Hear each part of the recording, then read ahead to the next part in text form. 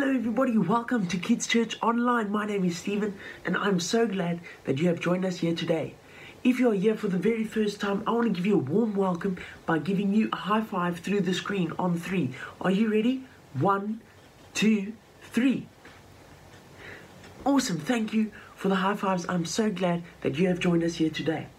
Now, before we start anything, I want to know if you're ready and if you're good and excited for Kids Church. So, on the count of three, I need you guys to give me the biggest thumbs up and the biggest smile so that I know that you guys are ready and excited for Kids Church.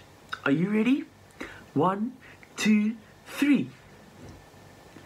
Awesome. I'm so glad to see you guys are ready and excited for Kids Church just like me. Now, one question. I need to know what is your favorite number between 1 and 10. Can everybody show me 1 and 10? Now, what is your number, uh, your favorite number between 1 and 10? It can be any number from 1 to 10. I need you guys to tell me. So, on the count of three, I need you guys to shout your favorite number to me. One, two, three. Awesome. I'm so glad to hear your favorite numbers. I heard a couple ones, I heard a couple twos, I heard a couple threes, I even heard a couple fives.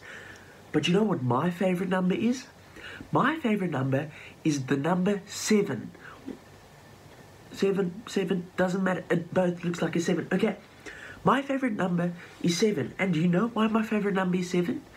Because there are some really funny jokes about the number seven. Can I tell you one? Awesome, here we go. Why is six afraid of seven? Because seven, eight, nine. I love jokes like that. Was that joke funny? I'm so glad to hear. If it wasn't, oh well, that's my favorite type of jokes. Okay? Now, you know what's also really cool about the number seven? The earth was created in seven days. You know what's crazy about that? Is in the Bible it says that God created the earth in seven days. And today we are going to be talking about the first two days. Now, the first day, God created something called light and darkness.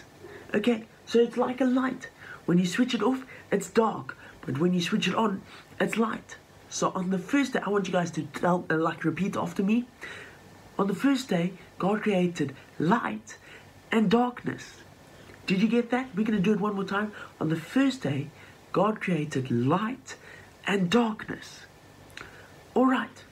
Now, on day two, day two, God created the sky and water. So the sky and the water. Who likes swimming? I like swimming. And who likes looking at the clouds in the sky? I like looking at the clouds in the sky. And you know what's really cool about the sky and water? And the light and darkness is that all of it was created by God. And He only did that in the first two days. Can everybody repeat after me what God created on the first day? God created light and darkness. And on the second day, now I want you guys to repeat this with me. On the second day, God created the sky and the water. God created the sky and the water. Okay, so that is that for today. I'm so glad that you guys could have joined me today, and I'm so glad that we got to learn a little bit more about Jesus. Please join us for the rest of the week at Kids Church to find out what else God created on what day. Thank you for joining us today. We love you and we can't wait to see you again. Bye, everybody.